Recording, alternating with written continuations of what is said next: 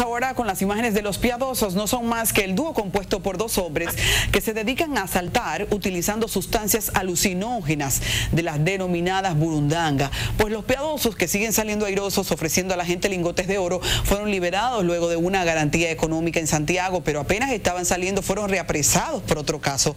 Aquí nos hablan sus abogados. La medida, el juez entendió que la calificación que ha hecho el Ministerio Público es incorrecta, estaban acusando de robo, y eso es un delito, vamos a decir, económico de estafa, por lo cual entendían que con los presupuestos que aportaron los imputados, podían ser beneficiados con una, o sea, con una garantía distinta a la prisión preventiva, es decir, que podían conocer el proceso estando en libertad. ¿Cuál fue la medida? ¿Garantía económica de cuánto? Una garantía económica de 7 mil pesos en efectivo. Pero saliendo de permanente lo Bueno, saliendo de nuevo. supuestamente tenían ni que otro proceso, pero nosotros verificar cuál es el otro proceso que tiene el Ministerio Público, ya que en el proceso anterior ellos nos presentaron una formulación precisa de cargo.